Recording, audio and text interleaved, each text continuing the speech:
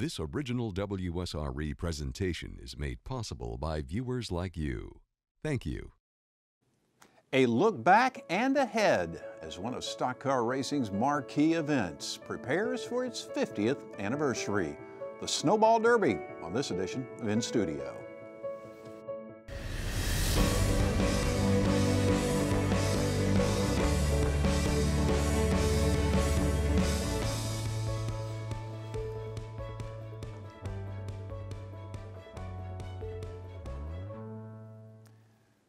In 2017, the engines will fire on the 50th year of what has become one of short track stock car racing's most prestigious races, the Snowball Derby. The race is held each December at Pensacola, Florida's Five Flag Speedway. It is known in the racing world as one of the best and most competitive races in the nation. It has made heroes out of local drivers and humbled some of NASCAR's biggest names. The high banked half mile oval racetrack is lightning fast, and the asphalt surface is no friend to tires, which means driver skill is at a premium. Our guest on this edition of In Studio will share their perspective on the historic relevance and the future of the Snowball Derby. Wayne Niedecken Jr. is a second generation racer. His father won the Snowball twice, including the inaugural event. Junior Niedecken is a fan favorite with an impressive resume. He has 12 track championships from speedways throughout the Southeast. His best snowball finish was second, but he has consistently run well. He is third in all-time top 10 finishes. He is still an active driver and is the owner of Niedecken Motorsports, which specializes in construction, fabrication, and maintenance of race cars, as well as consulting and driver development. When Dickie Davis started racing at Five Flags Speedway, his day job was that of an Escambia County deputy sheriff. His fellow competitors learned, in addition to chasing criminals, he was pretty good at chasing down checkered flags. Davis is now retired, but before doing so, he collected two Snowball Derby trophies in 1971 and 1973. Seven times Tim Bryant raced in the Snowball Derby, but these days he runs the show. Bryant and his family began managing Five Flags Speedway, home to the Snowball Derby, in 2004. They purchased the track in 2007. In addition to the Speedway, the family owns Bryant Racing Equipment, which supplies tires and parts to race teams. Gordon Paulus covered the Snowball Derby for a decade and a half as sports editor of the Pensacola News Journal. Paulus is well respected by fans and competitors for his knowledge of the sport and his ability to bring to the printed page the action and drama of short track stock car racing. In recent years, Paulus moved into corporate communications for the Gulf Power Company, but remains a fan and an expert on racing. Gentlemen, welcome.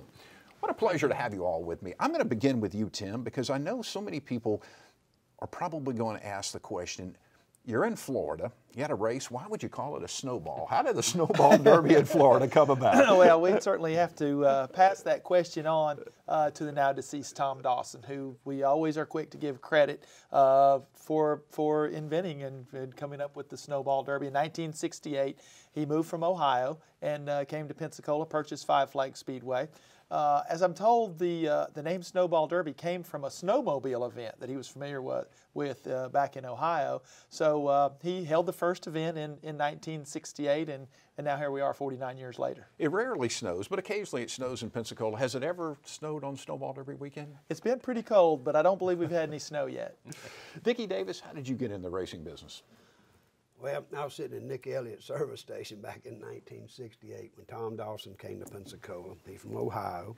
He purchased a track for eighty, eighty-five thousand dollars from Miss Williams, and he was trying to line up people to build race cars to go racing. So he came by Nick Elliott service station, so we got to talking, and Ronnie Joyce was there at the same time.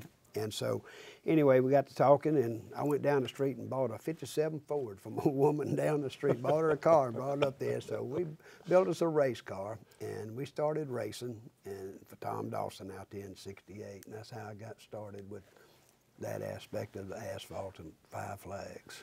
Junior, you started off very young, but tell me your story. Your dad won the first snowball derby. Do you remember that? Uh, very well.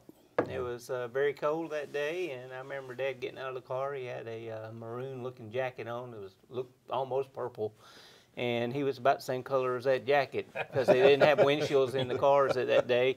Uh, and if memory serves me right, cautions did not count, and it was like a marathon event, and it, they probably run two, three hundred laps for a hundred lap race, and uh, just extremely cold. Yeah. Your dad won it twice. What did he tell you the biggest challenge was about that race over the years? Well, Dad was always a savvy racer. He took care of his stuff. He laid back. He managed his car, his tires, and his equipment, and uh, had something to race with at the end. And I've always tried to mentor that in my racing is take care of your stuff. And a lot of that comes from paying for your own equipment and fixing your own race car. And uh, when you do that, it teaches you that discipline to take care of your stuff, be around at the end, and try to have. I always called it if you had your fenders on and your tires straight, you had a bullet to shoot at the end, you might win. Right, right. And uh, you know, I've always tried to race like that. How old were you when you started? I was 17 years old when I started racing, and uh, when I started racing, there were no radios, and we run. I'd say I run up to early 80s without radios, and it was just you, you know. And uh, I had never raced anything, not even go karts, when I started racing, and I started in a late model.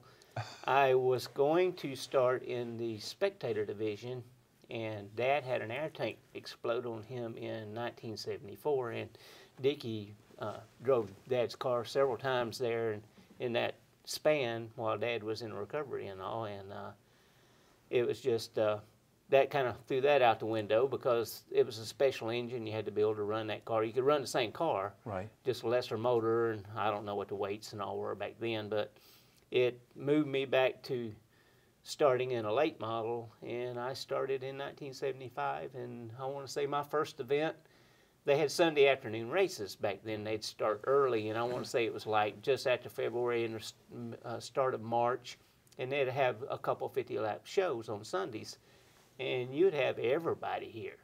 And when I mean everybody, you had half a NASCAR out of Hueytown would be here, and the regulars like Lolly and Bob Fry. I don't know if Bob Fry was still running at that time, but Bab Brand, and you'd have Lindley occasionally, Butch Lindley occasionally. Freddy Fryar would be here, Dickie. You know, all the all the hot shoes would be here, and there there would be about twenty of those guys that's capable of winning. And uh, you know, I'm a snotty nosed kid in a race car with no radio, trying to figure this all out, and uh, I'm staying on the bottom trying to stay out of the way, and they'd just suck the paint off every time they'd come by. You got, I got lapped probably four or five times my first race, and uh, it was, uh, it was uh, pretty good awakening. I bet, I bet. Gordon, tell people who may not fully understand what the Snowball Derby means to the racing community. You, you're a journalist, you covered it for many years. What, what, what does it mean to the racing community? Well, it's just local short track racing at its best, you know, because that was the one race that was at the end of the year. There was no other races going on, so everyone came down. Even in the old days when NASCAR, you know, you know the the Bill ba- the Buddy Bakers and the Pearsons and the Allisons came down, and it's just uh, you know it's amazing how Tim has you know took over the track in 04 and it's just it's actually gotten bigger in the last I think 10 years, and it's just become a phenomenon with you know Speed 51 also doing the coverage and just uh, people coming down taking their vacations here for a week you know coming from canada california all over the, you know the nation and it's just uh, you know it's the race to go to in december. I know my first snowball derby was in '75, and they would stick numbers on the side of your car as you come through the gate, and I had 107 on my car. Right. And I couldn't tell you how many numbers was on the car. I couldn't tell you if I was the last one or not, but I know I was 107, so there was a lot of cars. yeah I think it was over 120 cars that year just trying for the 36 spots in the snowball. Wow. And that's the year I happened to, what, 74? Uh, 75 was my first year. Yeah, 75, because I run second 75. Okay. And uh, that was, it, it was your first year. My first year. Sure was. Tell me about the, your win. Tell me about your first win. First one was in uh, 71. Now, I was driving for Claude Miller on 36. And um, it was uh, another protested race. tell them the story tell them the story Is this the gas Was that a story? scoring, a scoring issue, I believe? no, the, ga- the gas story came in my own car in 73. Uh, well, we're going to hear that too. but the first one was, you know, it was, uh, you know, when you when you win that race, it doesn't make no difference what year you won it, whether it's 70s, 80s, 90s, or 2000. It's the prestige of winning it. Yeah. Well, it's a huge deal, and it's like you're saying. I mean, a lot of the top tier NASCAR guys will come down here and compete in this race. And I mean, just in recent years, uh, and, and, Tim, you jump in here, but I know Kyle Busch has has won the race, and of course he's in Sprint Cup, was Sprint Cup champion last year, right? Uh, and then uh, Chase Elliott has won it twice. Mm-hmm. And I mean, talk about the marquee names that show up. Erik Jones has also right. had two wins in recent years, and uh, now he's uh, in the Sprint Cup Series full time uh, or Monster. Uh, uh, NASCAR series, whatever they're going to call it, 2017. But uh, and and and to some degree, that's that's why the event has really grown so much in, in recent years because a lot of these young drivers, and you know, we can all agree that they've gotten really young, but they're they're they're looking for uh, an event that they can hang their hat on that'll that'll get them to the next level. And with uh, even you know starting with uh, of course Kyle Busch won it in 09, Johanna Long the last time a local driver won it was 2010, and then she went on to do some pretty amazing things in, in NASCAR. And then, of course, Chase Elliott with two wins, and Erik Jones with two wins, and John Hunter Nemechek uh, with a win. And all of those people are in, in uh, you know NASCAR's upper upper levels now. So so the young guys are looking at that. They look at this race as perhaps uh, you know if if it's my day, Uh, you know, great things are going to happen to me, and, and it's happened that way. But it's uh, it's not always the case. I will tell you, uh, you know, one of the most amazing stories with the Snowball Derby is a guy named Rich Bickle who won the race five times in the 90s. Yeah. I mean, mm. that's half of a decade. He yeah. he won the race, and and and Rich did do some NASCAR racing uh, after that, but uh, for the most part, he was just a, a short track racer. And and as Gordon mentioned, that's that's really what this race is about. It's a it's a short track race. We get the best short track racers in the country, and then you sprinkle in a little NASCAR flavor along the way, and it just makes it even sweeter. What's the difference of the skill set of what it takes to be successful on a short track like Five Flag Speedway versus what it takes to be successful at Daytona or Talladega or Charlotte? Well, nowadays they've got computerized iRacing, and they get on there and they race on the racetrack that they're fixing to come drive at. So they know every bump and ripple on the track prior to being here, and they hop right in a little race car and they go. Well, the race car that most of these cats hop into nowadays is been on a seven post pull down machine, it's been on a chassis dynamometer, and it's built by a NASCAR team that just like a Winston Cup car. Right. And it's just, just all about dollars. That's now. just what we was talking about earlier about, you know, what I saw happen with the uh, car over at Tracy's shop.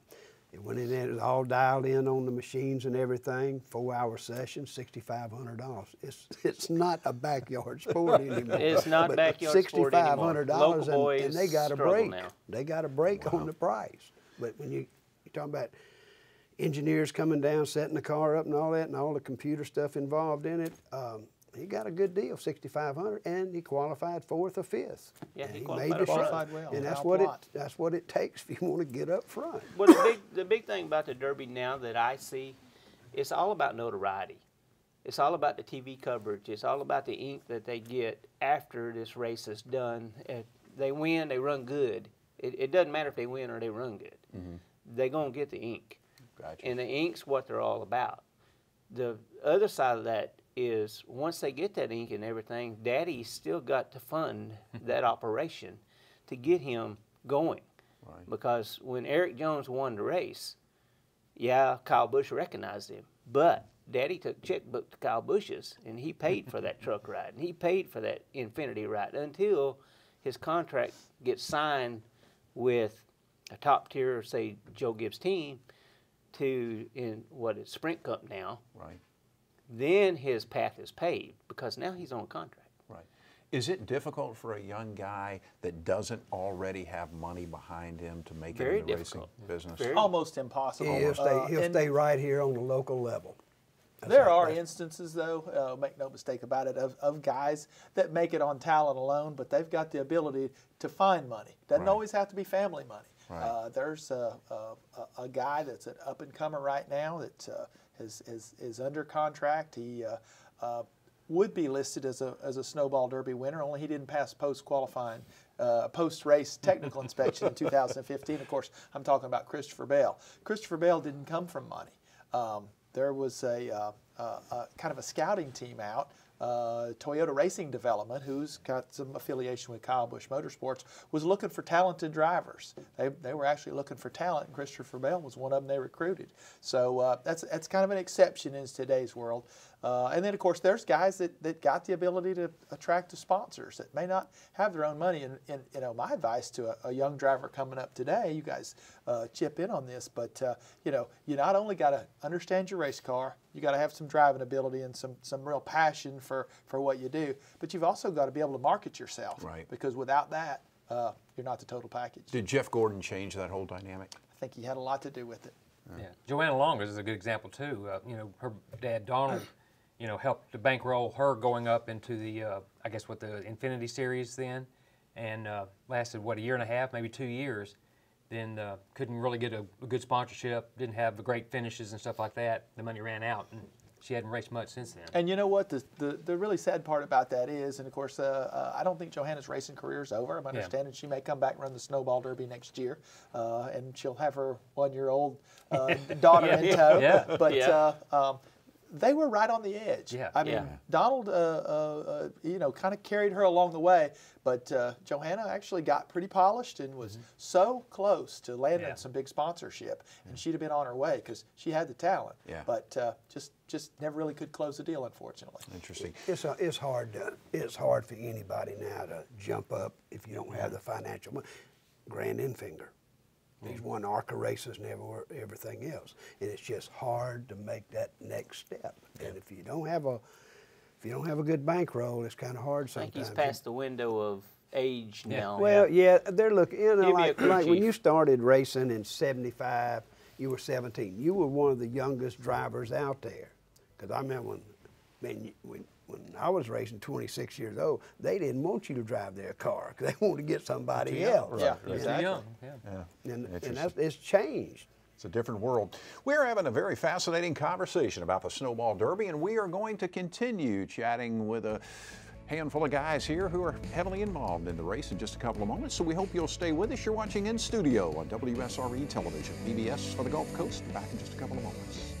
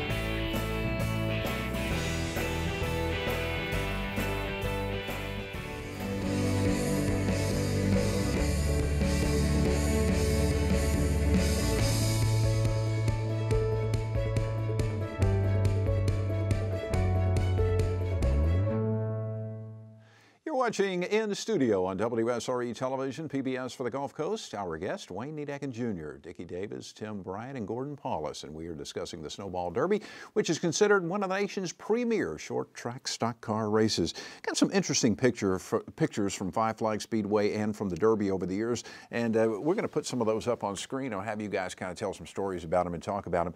Uh, Dickie, I'll start with you on this one.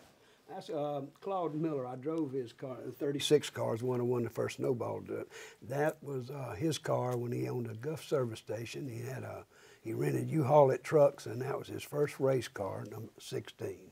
Boy, they sure have changed over the years. No windshield in there, right?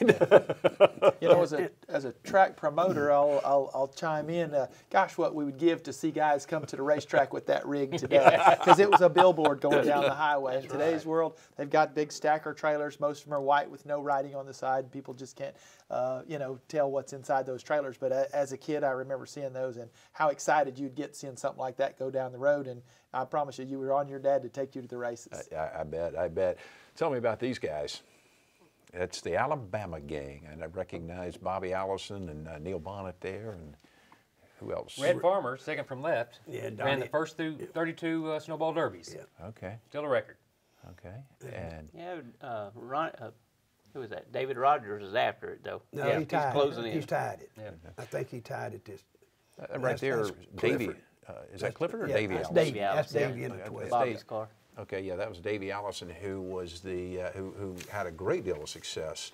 Uh, won the Daytona 500, uh, as a matter of fact, and was uh, tragically killed at Talladega International Speedway in a helicopter crash. Believe it or not. uh, Odd story about Davy is uh, he he was not the greatest short track driver, but uh, once he made his way to the to the upper level, had instant success. Yeah. Probably one of the best there ever was. Well, his uncle chewed him out one night in Mobile. and There was a sh- uh, over there. Donnie told him he hit everybody on the racetrack except the flagman. Yeah, yeah. Well, his, his best finish at snowball was 15th. Yeah. So that, that was his best finish ever. Well, Yeah. but he did go on, as we said, and win the he won the Daytona 500. I think he won Talladega, and Yeah, I, he had a good deal with Robert Yates. Yeah. He had a real good deal. And uh, uh, Larry uh, La- Larry McReynolds. Larry Mack was his crew chief. Yep. And they were all from Birmingham. Yep. I hear you. The picture there. Who's this guy? So that's a, that's a picture we looked at earlier, and we decided that this guy must have borrowed that trophy for the photo. this, this is Tim. I was passionate about racing. I was never uh, uh, on the caliber of, of, of Junior or, or Dickey as far as uh, total number of wins. I managed to win a few races, even won one track championship, so I'm, I'm proud of that. But uh, for the most part, I was a racer that just strived to be there every time they opened the gate. But at one time, it, uh, his two brothers and his dad all raced together at the same racetrack at the same night. No kidding. And he finished eighth in the snowball derby, better than Davey Allison. So he got that to hang I hat can on. put that on my resume. So we got a couple of more pictures we're going to put up here. Now, what?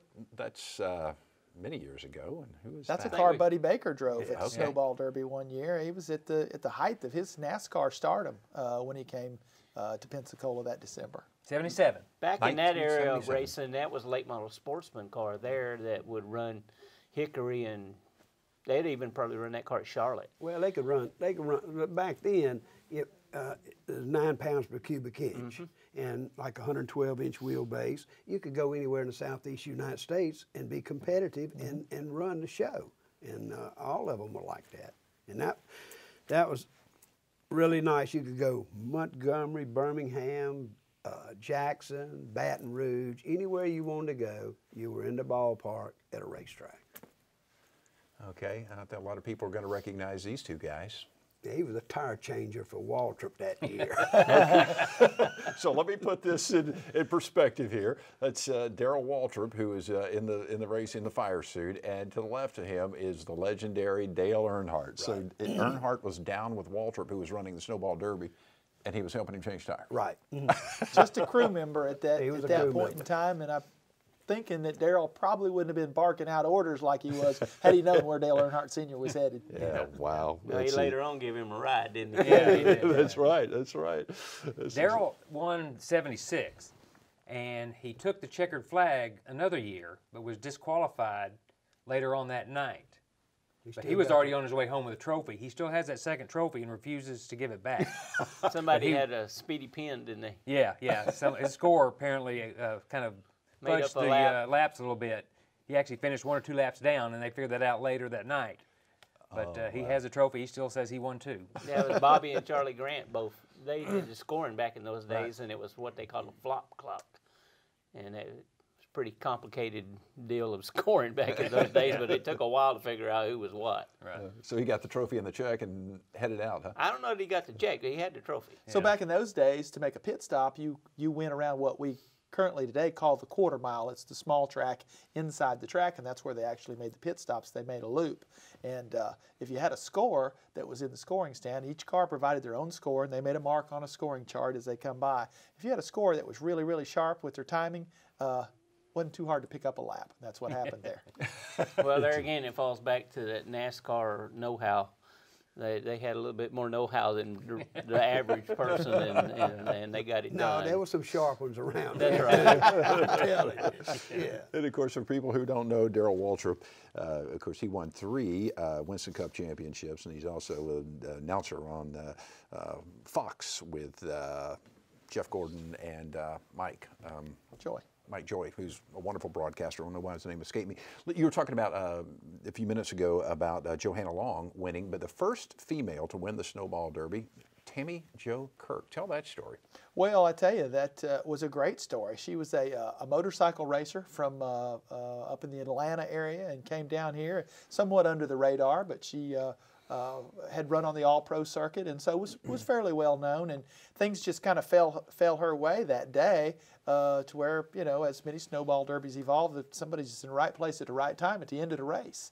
And uh, she uh, she had a rear view mirror full of Eddie Mercer on the final laps, and uh, you know, thankfully Eddie went on to win. Uh, at a later next date, year. 2000, uh, 2005. that car was. yeah, but uh, that Oh, was that's back right. in, That was 11 years yeah, ago, right, Yeah. yeah. So there was Yeah. probably a time there where Eddie's probably thinking, "Wow, maybe I should have used that bumper. I'm not ever going to win this race." Yeah. But thankfully, he He, did. could, he couldn't handle that pressure. Yeah. Well, I happened to be in the grandstands that day, and there was just a certain feeling that was going on. Was he going to do it, or was he not going to do it? And I was hoping he was going to come to the program tonight because I just wanted to ask you the question. I just, I, I, I wonder had Junior Nedeck been leading it, he were that close, would it, have- would they have ended up in the wall, in the fence? So he would have punted him. most, of, most of them were rate their mom to win that race. yeah. Johanna Long turned someone at the end there to win that race, which is kind of ironic with Tammy Jo Kirk not getting turned by Eddie. Johanna Long kind of was Yeah. aggressive in the last Yeah, lap she- to win she her roughed race. up Ran- I think, Landon uh, Castle a Eddie, little bit Eddie, towards Eddie the end. showed sportsmanship by not turning her. He did. I'll and give he finished credit. fourth, or Well, finished second four times. Racing it, the race has really changed its face over the years because back when my dad and Davis and even Fryer and a lot of the others won, I would say all the way up until the late 90s, it was pretty much a gentleman's race. I mean, there was camaraderie, there was sportsmanship. You didn't see that roughing somebody. You know, they would rub them or to loosen them up or something, but it wasn't a blatant just drive through you. And nowadays, you see a blatant drive through you to win this thing, and it's just how prestigious this race has gotten to the point where, you know, the person that wins that race, they're looking at this is my chance for stardom. I might make it to the next level if I win this show, and they're pretty desperate to win this race. Let's go back though, because uh, you talk about that sportsmanship and camaraderie, and and uh, let's talk about Bobby Allison Yes. and Ronnie Sanders. Yes. Well, yeah. because that was right in the middle of the time period Yeah. you're talking about. You're absolutely right about racers were were generally they, they didn't wreck each other back in those days. They'd, they'd race hard, but they didn't wreck each other. But on that particular day, I think I remember Ronnie Sanders uh, going to the pit with a wrecked car and getting a jack handle and running out on the back straightaway and chasing Bobby Allison down with it. So Well, it was an axle because my bro- ex brother-in-law at the time went back there and he stopped him, and that was uh, Suitcase Ron, Ronnie Helton, what we called him at that time. We called him Suitcase because he later crew chief for a bunch of different people, but that was when that went on. But it, it could have been one of them three strikes and you're out deals too. You, you know, we don't know. I don't know. Because uh, that's the way Dad raced, and that's the way he brought me up to race. He goes, you know, you give him three chances. Third chance, you're mine. of course, you know, Bobby Al, the Allison brothers were involved in one of the big events in NASCAR that may have pretty much kind of turned the tide of the popularity when It definitely did. back in did. the first uh, live televised Daytona 500. that where, made the sport. Yeah, really did. Where uh, Cale Yarborough and Donnie Allison on the on the back straightaway. And Bobby, but look who kept the helmet on. Yeah. well, it was Bobby Allison's great line. Cale Yarborough kept taking his his face and beating it against my fist. yeah, that was a great line. I had a chance to interview Bobby a handful of years ago. What a what a what a nice gentleman he is. Um, now that he's no longer. Well, I'm just glad Bobby's who he is now. Yeah.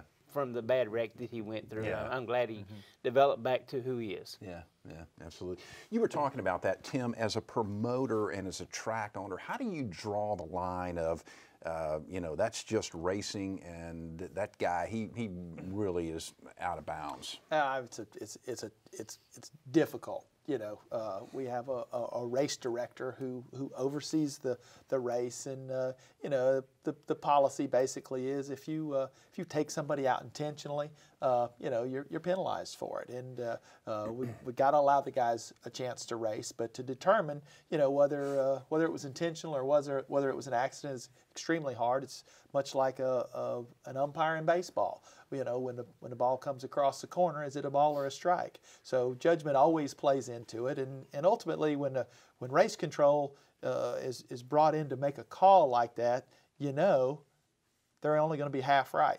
So you know, it's kind of a, a no-win situation. There's there's no uh, uh, perfect remedy for that. In our case, we've got a race director uh, uh, named Dan Spence, who's been in this sport since uh, since I think before Junior started racing, and uh, you know he's he's developed a, a a pretty strong reputation for being right most of the time. But I'll tell you, there's not a guy out there that's right every time. Sure, sure. Well, and, and the situation came up at the race last week, you know, the 49th, when Stephen Nasse got taken out with about 20 laps left by, was it Christopher Bell? No, it Or, was. uh, st- uh, Or the other driver? Byron, I think. yeah, Yeah, Byron. Yeah, Byron, the pole sitter. correct. And before the race director had a chance to make the call on if he was going to have to go back to the pack, Nasse just turned around in the caution and plowed into him and knocked him out of the race. So the race director never. I mean, it'd been- I'd been interested to see what uh, Dan would have made the ruling on that. I've one. thought the same thing. and I haven't talked to him about Yeah, it. So uh, that was a call he didn't have to make. Exactly. Yeah. Some great stories about the Snowball Derby. There's a couple of legendary stories out there. One of them involving one of our guests, Dickie Davis. We're gonna we're gonna put him on the spot and have him tell that story when we come back in just a couple of moments. You're watching in studio on WSRE Television, PBS for the Gulf Coast. We're back in just a couple of moments.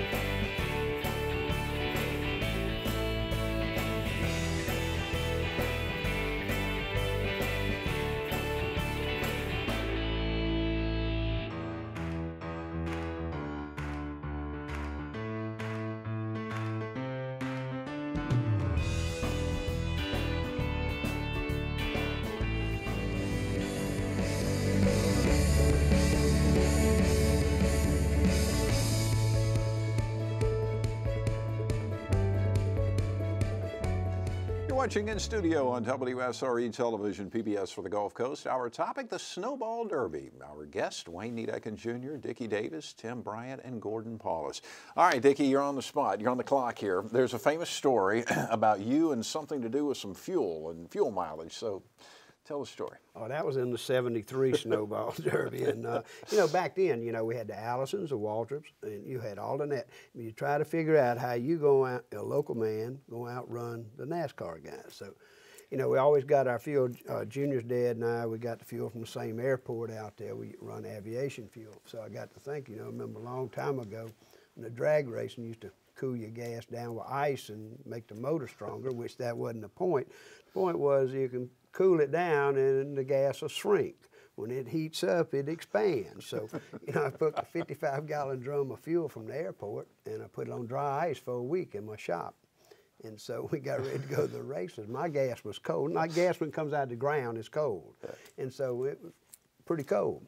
And so it made the 200, at that time it was a 200 lap snowball. Right. So it made the whole race without uh, having to put gas in there. And uh, Ed Howe said that there wasn't no way in the world that you could run the whole race on 22 gallons. I had just bought that fuel cell from Bobby Allison about two weeks before that. I said, man, I hope he ain't sold me something been blown up, you know, 'cause they'll blow them up and stretch them out. I said, Lord. But anyway, I took it down to the service station down there, and it held 21.6. So of course, I had a, a little motor from, not a little motor, but it was a, a smaller motor than some of the other ones run. It was a D-stroke 400 out of Lee Hurley's place in uh, Birmingham. And I could weigh like 2,700 something pounds, where the other guys run 350s to 355s were weighing 3150 or, or 3195. And so I had a little bit advantage there, but my motor was put out the same horsepower as the, as the big cubic inch. So I, I got lucky. And, and you told me when a few years ago when we did the interview on that that if the race had started 30 minutes later, you'd have been DQ'd because the gas had been Oh, yeah. spewing all Oh, out yeah, of your car. yeah, Yeah. Yeah, we, it was a Sunday afternoon race, and, and back then, you know, sometimes you have cold weather, sometimes you had hot weather. And uh, the gas will expand, and I said, Lord, I need to get going. So something I didn't know, Dickie, uh, uh, Ed Howe, of course, who had won in 1972, Right. the previous year, did he actually protest you? Yeah, or uh-huh, it- yeah. He did? Oh, yeah. There was we a had to go- protest. we went all the way down to the uh, service station at Mobile Highway and Woody Fletcher's old place at Amoco. went down there and they had drained. Filled There wasn't up. no gas in it, and so they topped hell 21.6 when it come out to overflow. So that was a relief, wasn't it? Who paid for the gas? I, you know, I really don't know, but I was tickled slap to death. But, but it, it, it worked out great. I always thought it was Larry Phillips that protested you because he, I think he finished second to you. It day. was Larry. It was. It was Larry Phillips. Sure it was.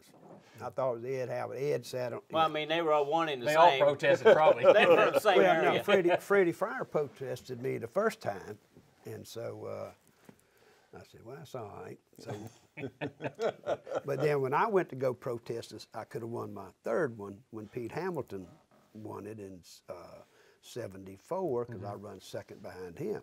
Now, when I went to go protest him. I was five minutes late getting there, Oh. so, and then he got found he had that nitrous oxide in there because I said, "Man, ain't no way, uh, guy," because we He dominated that race. Oh, he did, Yeah. man. And when he sh- when they dropped that green flag again on the restart about 10, 15 laps ago, he shot out like a bullet. I said, ain't no way. And so, but he had that little container. I never heard that. and the year before, he'd he been did, DQ'd. yeah. And he Yeah. was so mad, he, he was bound and determined right. to win the next and year. He was, and and he, did. uh, he was Yeah. driving Doug Robinson's car out of uh, Texas. Uh-huh. Tell you, Gordon's got some stats over there, Jeff, and uh, uh, uh, one stat that I bet he doesn't have is Dickie Davis's record because he didn't run that many snowballs, but his average finish is phenomenal. Oh, yeah. Dickie started six snowball derbies, and his first four finishes were first, first, second, and second. Wow. Amazing. Imagine And I- that for four starts. What was Yeah. it? What, And I apologize for not giving you credit for having that. I Had should it, have it, he is the stat man. what was the key to your success? uh, you know, it takes a lot of luck, and I had a lot of, you know, well, I had a good engine builder in Birmingham, and then the second two times that I run second, I drove two different cars. For some, I, I drove uh, Bernie Morrison's car, number 40, and then I drove Percy Brow's car, number 80, and uh, that's, that's the two years I run second. Then I drove my own car the last two years, and I sat on the outside pole, and I with a Dixon uh, Brothers car I got in, built in California, and I said, you know, I'm gonna win my third one. So, man, I was celebrating being on the outside pole. That's the closest I ever got. And so, anyway, I went off to eat and party or whatever, and the crew took because the throwout bearing was raising little sand. So I said, don't worry about it, because once we shift, it's all right. They took it back to the shop and worked on it and messed up the shifter. And so when they started the race, I could go through first and second, but when it went to third and fourth, it it was wasn't hmm. there. So oh, you know, so I, I wound up running 21st that year. So. Wow. What was it like running against his dad? You raced his His- dad. yeah, his dad and I, we now usually he and I would be in the helmet dash and we'd joke around. And one time, uh, Let me get you explain what the helmet dash is. the helmet quick, dash 'cause- is the two fastest cars on a on a weekly show. They run the helmet dash, and uh, you know back then they had the helmet dash, and then they had the fast heat, and then the feature. And uh, Wayne would either win it or I'd win it. So we had a bet one time for a dollar. It was a big bet for a dollar. I think I collected a dollar. Didn't I, Junior? Did I win the dollar? That's like Jimmy Grimes. I used to make more money betting him when I'd outrun his car than I did winning the heat race. You mean he bet even back then? yeah. what was it like? You raced against your dad, right? What was I that did. like? Well, the cars come out of the same stable, and you made sure that you raced clean. You didn't want to touch your dad, Right, Because you right. sure didn't want to have that to come back home to. Right, right. And uh, you know, it was a little intimidating on top of that. Yeah. You know, because of who he was and what he had meant to racing and what he had achieved in in his years of racing. You know, growing up watching him race, and uh, so I just always made sure I raced Dad real clean. I didn't get close to that, and you know, and the money went to the same household, so you know, we'd make a show out of it. Right. We always made a show out of it. Right, right. Well, he was uh, quite uh, quite the legend in short track racing around here, wasn't he? Dad achieved a whole lot in racing. I mean, prior to probably the, the uh, full body cars, he, he ran super modified cars and built his own cars, built everything about it. And uh, there was a race in Houston, Texas, and Jim Grimes and uh, Alan, can't remember what Alan's last name is, Lettered all the race cars. Martin. Alan Alan Martin. Martin. Alan was pilot. And I think Jim owned the airplane. And they flew Dad. We raced here on Friday night. Our dad raced here on Friday night, and they flew Dad out to uh, Houston, Texas, to run the Liberty Bell 300. And Dad wound up winning that race Wow. when they flew him out there, and it was his 13th try, and he had dominated that race for years and years, and the track was so rough that the radiator would fall out of the car, and just crazy things would happen. Just always something would break right towards the end of the race, and he finally won the race, and he said, "That's it, we're not going back." My, I have a good recollection as a, as a kid when I first started coming to the races over here. Wayne Niedecken Sr. was my, my hero. You know, I'd go to school on Monday with a hoarse voice from screaming for Wayne on Friday Oh, night. that was his hero. And, and part of the reason, well, well, you ranked right up there. I, I was pulled for the 99. But I will tell you about Wayne, and, and, and you know, Junior mentioned earlier about what a savvy racer he was. Back in those days, as Dickie mentioned, it'd be a helmet dash and a, and a, and a, and a heat race, and uh, they'd generally have a consolation, and then they'd have a feature, 25 laps. Well, the fastest cars always started in the rear. Well, that was Wayne. He had to come from the back. I hardly ever remember him taking the lead in a race before two or three to go.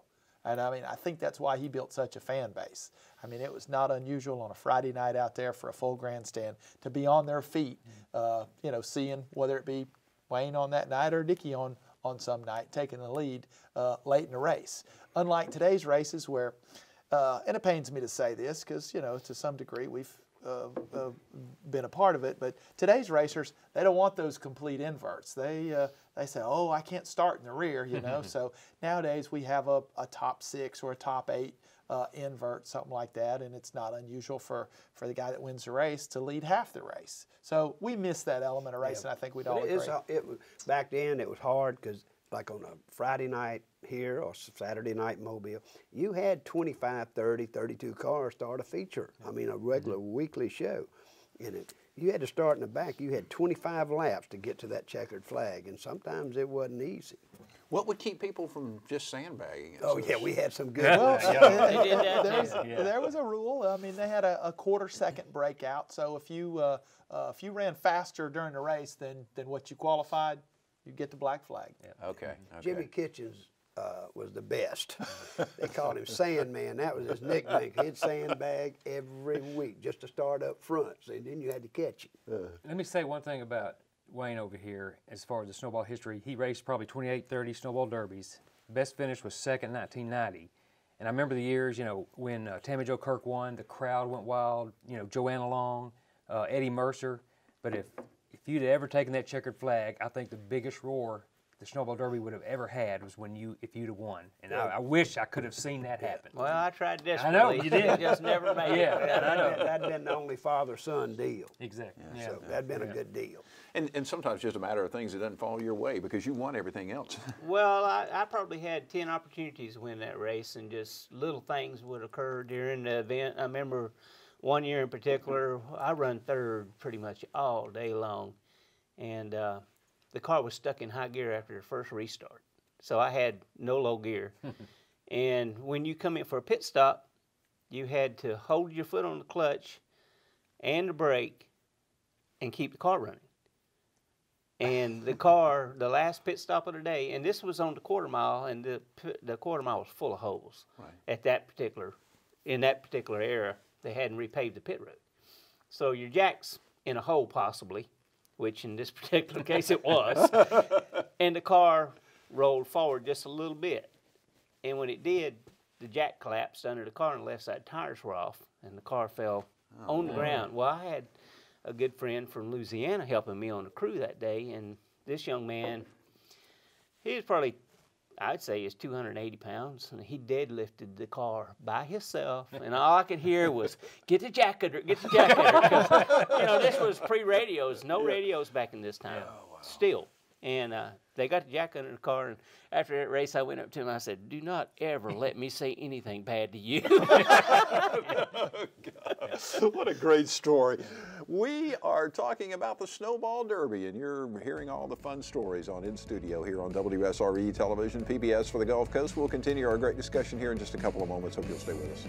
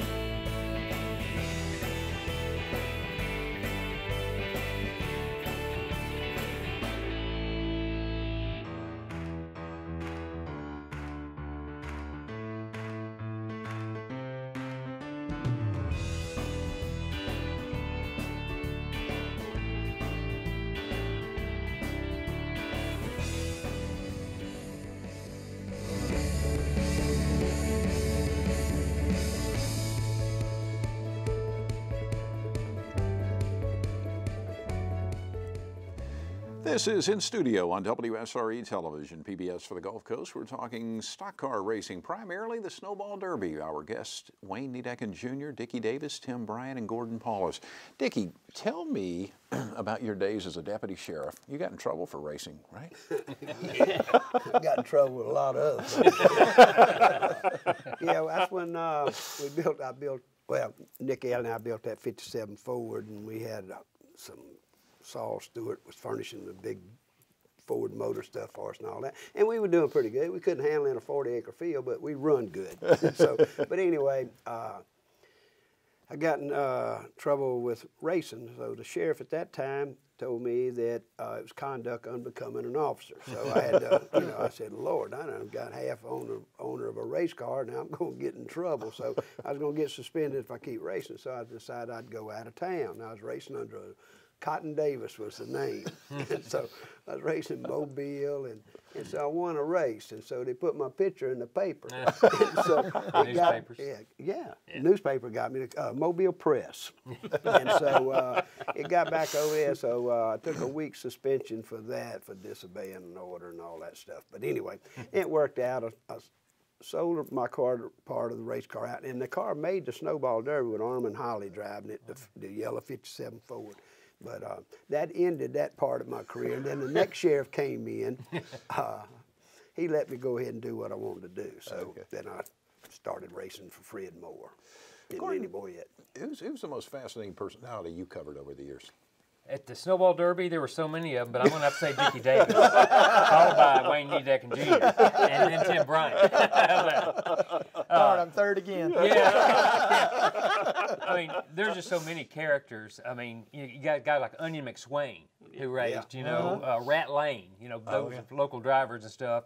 You know, Gary Saint Amant, I think, was one of the more unique drivers that he, you know, he won a couple of races. He was a nice guy. he was a very nice Very guy, nice smart driver. He, and you know, we had the closest finish in Snowball Derby history last week, but Gary Saint Amant was involved in the two previous closest finishes before that. And you think if he'd have won those two races, one of them was against Rich Bickle, he'd have more wins, or be tied with Rich Bickle for most wins if he'd have pulled those two out.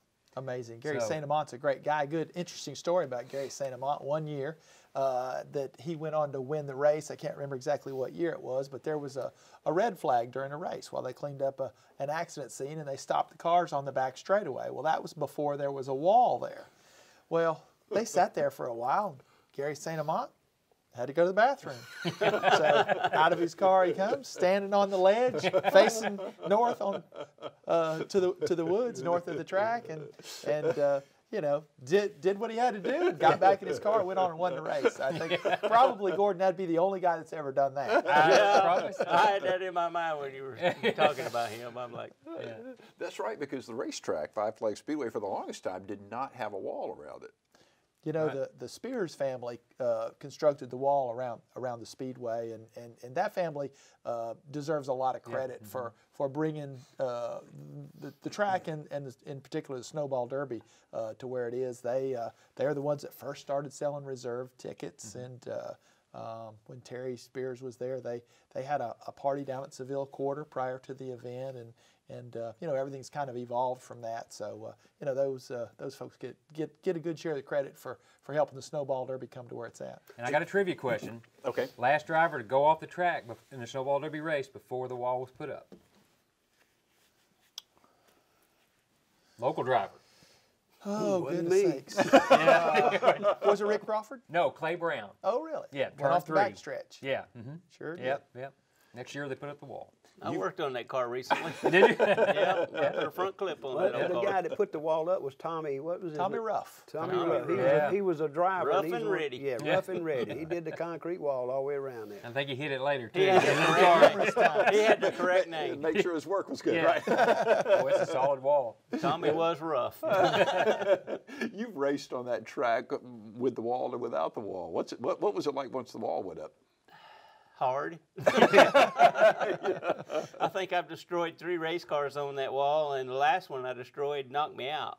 Really? Yeah, yeah, I took a little. Oh, well, I almost took a trip to the hospital. Did go later, but uh, it was pretty hard. I can remember when they when they built the wall, and uh, uh, I think I was on my way to the track for the first time to to, to race, and uh, uh, I happened to be in a conversation with Junior on the phone, and I said, "Well, do you think you know is it going to change the groove?" And his answer, I'll never forget it. He says, "Well, it shouldn't. They didn't move the asphalt." I like that. I like that. of course, I no, guess- that bump, that dip's still on the outside. of going in turn three down there. So for people who are not necessarily, uh, you know, huge race fans or know a lot about the ins and outs of the racing, give folks an idea. How fast are you going? And, and, and I'll keep it to the late models, so the snowball derby cars. How fast are you going? I would say the late models, the super super late model cars, when you lift nowadays, you're probably running 120 to maybe a little more than that when you lift. And uh, I, the whole thing about racing now is momentum. It's about how little you can slow that car down, keep it going, keep it rolling without touching that brake too much. And I always like to trail brake so I can settle the car. But the kids coming in nowadays, you know, they haven't experienced that concrete like a lot of the veterans, and they'll run through there and they might not even touch that brake. They probably run. I- I, I'd be because the average speed on the pole setter this time was 111 mile an hour, wasn't it? Mm-hmm. Okay. I imagine they doing 130 down the straightaway before they dive off in there. Because I said, you Well, know, with the sealed motors and all, I I don't know. I, would have to say it probably 120, 125, somewhere in there. Yeah, the corner speeds are probably not as slow as, as what some people might think. Because, there. Uh, with the technology in these cars today, uh, you know, the, the there's so much grip on these cars. I mean, they don't they don't slow down much. A pro car, you know, people frown on the pro cars and they, you know, they look down on them because they're a little bit lesser. They run a crate motor in them. But you run faster through the corner in a pro car than you will in a supercar. And why is that? And because you, there's no motor, it's less motor. Slower. And we're running within two tenths most of the time of what a supercar runs. With a lesser car, with a lesser motor, not car. Cars are the same, exact same. Motors are probably 100, 125 horsepower shy of the supers, or what everybody's claiming. Right, right. And the whole thing is keep the car wound up, keep it, you know, and you're you're chipping it. The those motor, all the motors nowadays run on a rev limiter. So you'll hear if you go to the racetrack, you'll hear them what it sounds like a stutter, and it's at the end of the straightaway. Well, the ideal thing is to have it geared to launch off the corner, and pull the momentum as deep as you can down the straightaway to the lift point lift, try not to touch the brake, let the car roll off in the corner, pick it back up, mat it. And everybody's trying to mat it. There's there's openings. What we gauge by there's openings where you come into the pits off the track for entrance and exit, like tow vehicles, that sort of thing Right, right. and everybody is trying to lift as late as possible. So you're lifting before, just before the end of the wall, and you're back on the gas before that opening. Wow. And we're talking like 1001, and you're on it. Yeah. Wow. When you hear drivers on TV talk about hitting their marks, Right. that's exactly what they're That's talking what they're about. talking about. We could have a whole show just on that. That's, I'm, I'm fascinated by that. Unfortunately, I've got less than two minutes. Re- just real quick, like, uh, Dickie, what are you up to these days? In I'm about 20 retired. I've been. I've been retired for uh, 12 years, and I just do what I need to do every day. Get up. Get up. Gordon, how about yourself? I still follow racing. I go to Daytona, I go to Bristol, and, and Five Flags as often as I can, and, and I'm looking forward to the 50th anniversary race next year. Junior, That ought to be a heck of a race. I look forward to it. you going to be in it?